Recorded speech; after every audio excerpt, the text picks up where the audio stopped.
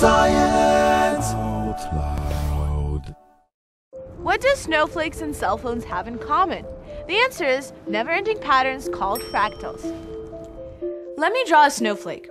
I'll start with an equilateral triangle.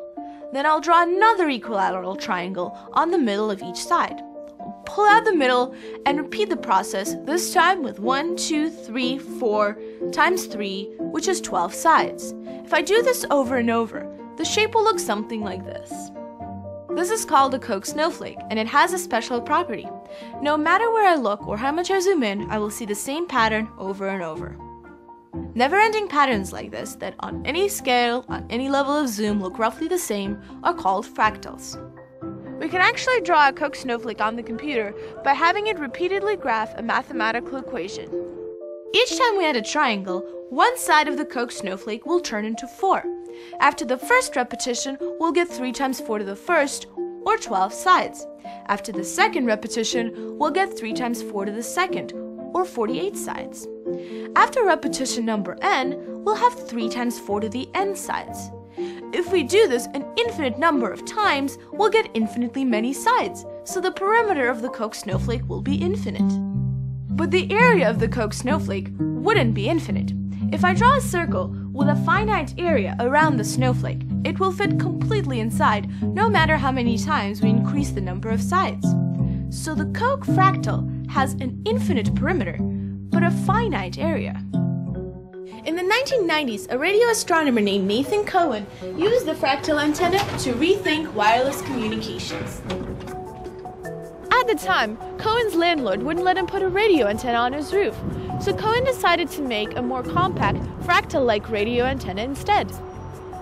But it didn't just hide the antenna from his landlord, it also seemed to work better than the regular ones.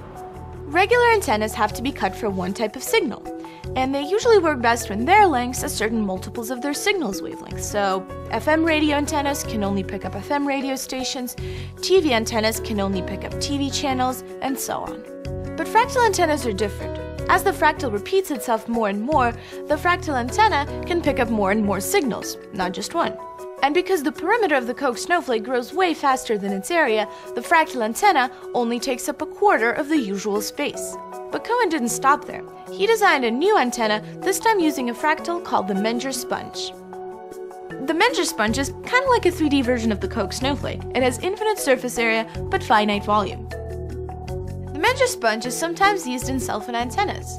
It can receive all kinds of signals while taking up even less area than a Koch snowflake. Now, these antennas aren't perfect. They're smaller, but they're also very intricate, so they're harder and more expensive to make. And although fractal antennas can receive many different types of signals, they can't always receive each signal as well as an antenna that was cut for it.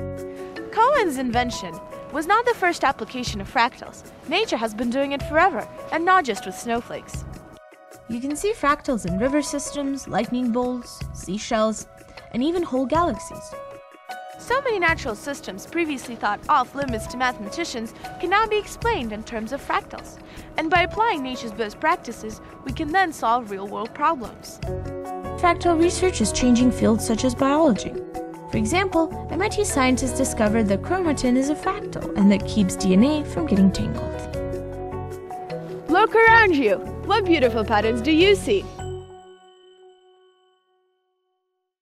Hi, I'm Yulia. Thanks for watching Science Out Loud.